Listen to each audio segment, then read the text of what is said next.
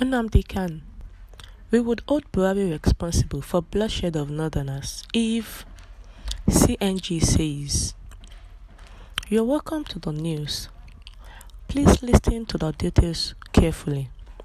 And don't forget to click on the subscribe button and the bell for more notifications of the news. The news details. The coalition of northern groups, CNG, has rejected Igbo leaders' call on President Muhammadu Buhari to release Nnamdi Kanu, leader of the proscribed indigenous people of Biafra, IPOB. Igbo leaders had visited the president at Aso Rock on Friday, demanding that Kanu should be released. Buhari, described their request as heavy, has said he would consider it. But Coalition of Northern Groups (CNG) has described the request as an attempt to subvert the course of justice, saying those who made it should be treated as accomplices and sponsors of the atrocities and crimes Kanu committed against humanity and the Nigerian state. At a press conference in Kano on Monday, spokesman of the coalition, Abdulaziz Sulaiman, criticized Buhari's response to Igbo leaders, saying the North would hold Buhari responsible for the blood of its people unlawfully shed through the activities of Kanu in the event he succumbs to the Igbo pressure to release him. Sulaiman said that, pardon, Sulaiman said the coalition on the ground research in the southeast showed at from 2017 to 2020. IPOB under the leadership of Kanu triggered the killing of more than 1,230 northern Nigerians living in parts of the southeast. Several millions worth of businesses, properties and valuable assets belonging to northerners and citizens of, the, of other regions were destroyed across the southeastern cities on the instructions of Nnamdi Kanu within the same period. The coalition said it observed that the demand by the Igbo leaders and Buhari's disturbing promise to consider it without minding the number of soldiers, policemen, and thousands of other innocent Nigerians already murdered and presently physically threatened by IPOB militants on the express orders of Kanu suggest a lack of sense of responsibility on the part of those in power. Buhari's response to the Igbo leaders' demand could also signal a dangerous endorsement of the amassing of the huge number of arms already imported by IPOB terrorists and their sponsors, which are already being used to cause mayhem across the country.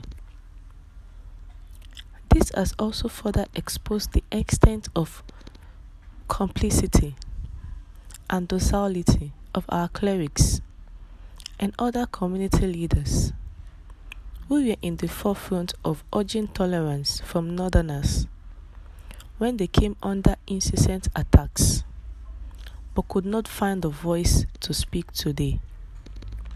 Sulaiman said the coalition, therefore, resolved among others that any attempt to release Kanu will inadvertently reduce Nigeria to a completely lawless state where criminals of all shades will commit crime against the country and then ask their traditional rulers and other regional or tribal leaders to press for their release. The coalition also want Buhari to reclaim his statesmanship by refusing to be cajoled into interfering with the standard principle of separation of powers and independence of the judiciary. one that the North would no longer remain idle when its people are deliberately targeted and massacred, while the perpetrators are shielded by criminal tribal bigots who pose as leaders. One President Muhammadu Buhari that the North has already realized that it places more premium on the pursuit for votes and political popularity for his party than it does for the sanctity of lives of Northerners and security personnel who stake their lives and welfare of families in the service of the nation. The coalition of northern groups rejected the Igbo leaders' call on President Muhammadu Buhari to release Mazi Nnamdi Kanu, who was the leader of the indigenous people of Biafra, IPOB. The Igbo leaders went to meet the president at the presidential villa, Aso Rock, demanding for the release of Mazi Nnamdi Kanu unconditionally. And the CNG, who had described the request as an attempt to subvert the course of justice, saying those who made it should be treated as accomplices and sponsors of the atrocities and crimes Kanu committed against humanity and the Nigerian states. That those people do not know the extent at which Nnamdi Kanu and his members has committed atrocities, killing the northerners. Over a thousand plus northern Nigerians has been killed in the in the southeast region of Nigeria. So they should not try and ask for the release of Nnamdi Kanu. The IPOB militant and the IPOB leader have committed a lot, so he must face the consequences of whatever he has done. If the president could allow someone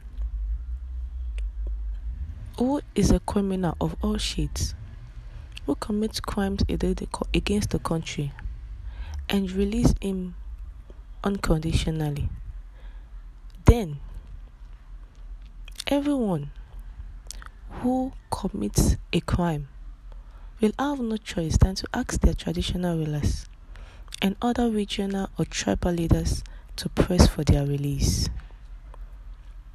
The coalition northern groups have said that if Buhari should release Nnamdi Kanu, that they will hold Buhari responsible for the bloodshed of Northerners. Thank you for tuning in once again. Enjoy the rest of your day.